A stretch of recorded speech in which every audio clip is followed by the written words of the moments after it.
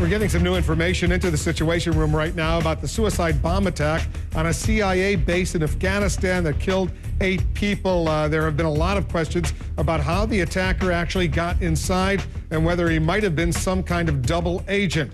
Our Pentagon correspondent Barbara Starr has been digging into this story. Barbara, what are you picking up?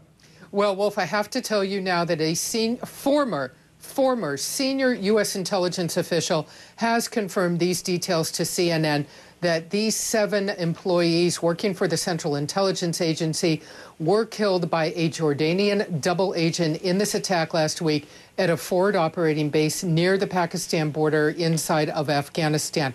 Let's walk through the details about what the understanding is now, how this incident occurred. It's all still under investigation, but this former senior official tells us these essential details have been confirmed.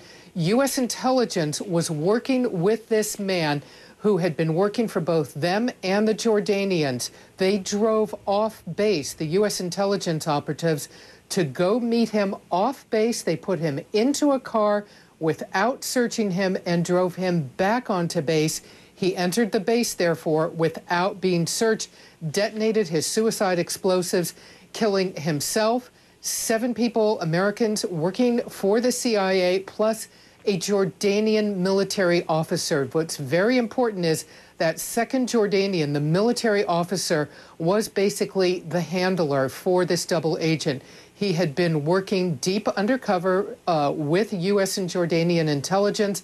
The Jordanians very quietly, very effectively provide a lot of help to the United States in that region, but it was, by all accounts, the failure to search the perpetrator when he got into a vehicle and was driven back on base that led to him getting so close to so many and this tragic incident, Wolf.